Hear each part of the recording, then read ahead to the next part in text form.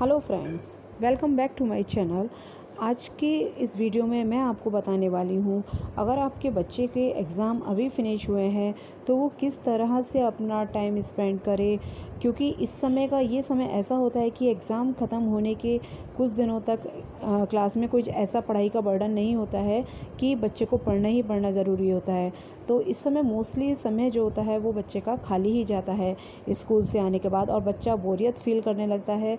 तो आज के इस वीडियो में मैं आपके लिए यही सब लेकर आई हूँ कि किस तरह इस खाली समय को यूज़ किया जाए जिससे आपके बच्चे का माइंड बूस्टअप हो सके और उसके साथ ही साथ उसका एंटरटेनमेंट भी होता रहे उसका टाइम स्पेंड भी हो सक होता रहे और वो कुछ नई चीज़ भी सीख पाए। तो आइए शुरू करते हैं इस वीडियो को।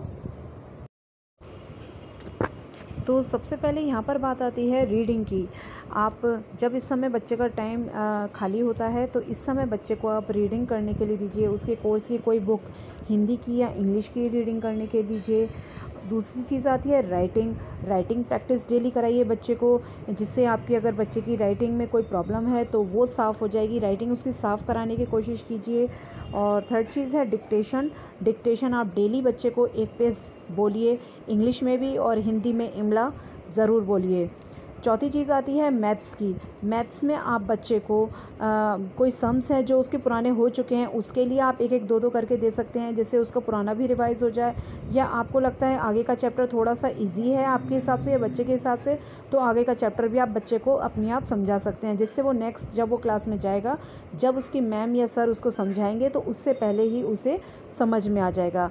इसके साथ साथ आप मैथ्स में उसको टेबल भी करा सकते हैं। तो ये सारी चीज़ें आप बच्चे को खाली समय में करवा सकते हैं। और कुछ इंडोर गेम्स ऐसे होते हैं जो जिन्हें आप बच्चे को खिलवा सकते हैं घर में आराम से। और बच्चे को खिलवाना भी चाहिए इंडोर गेम्स बच्चे को ज़रूर खेलना चाहिए और उसके लिए आपको खुद इन्वॉल्व होना पड़ेगा बच्चे के साथ। ये नहीं है कि आपने बच्चे को दे दिया, लो, अपने आप खेल लो। आप जब तक आप खुद इन्वॉल्व नहीं होंगे, जब तक बच्चा उसमें पार्टिसिपेट करने में थोड़ा हिचकिचाएगा या फिर वो उतनी अच्छी तरह इन्जॉयमेंट नहीं कर पाएगा। तो आप खुद भी उसमें इंगेज हुई और कहा जाता है कि अगर बच्चा को अगर बीच बीच में पढ़ाई के बीच में कुछ खेलने का मौका दिया दिया जाए तो उसका माइंड दस गुना तेज़ी से कार्य करता है। इसीलिए बच्चे को घर में, अब खाली समय है तो बच्चे का टाइम एक निर्धारित कर दीजिए कि इतने देर तक आपको इंडोर गेम्स खेलने हैं। तो चाहे उसमें लूडो हुआ, चेस हुआ, कैरम हुआ, यूनो कार्ड्स होते हैं, वो खिलवाइए आप बच्चे को। मेरी प्रीवियस वीडियो आप दे सकते हैं कि यूनो कार्ड्स हम किस तरह से बच्चे को खिला सकते हैं। इससे भी बच्चे को एक सीख मिलती है और आप इस तरह से अपने बच्चे को इंडोर गेम्स में एक्टिविटी में आप पार्टिसिपेट करवा सकते हैं। आजकल के जनरेशन में मोबाइल या टीवी या लैपटॉप बहुत ही कॉमन चीज़ हो गई है, जो हर घर में यूज़ की जाती है। और इसको भी बच्चे बहुत अच्छी तरह यूज़ करते हैं। तो अगर आपके बच्चा भी मोबाइल लैपटॉप या टीवी देखने का ज़्यादा शौकीन है तो उसके लिए भी एक टाइम आप निश्चित कर दीजिए कि आधा घंटा या एक घंटा आपके बच्चे को डेली मोबाइल या टीवी या लैपटॉप देखने को मिलेगा।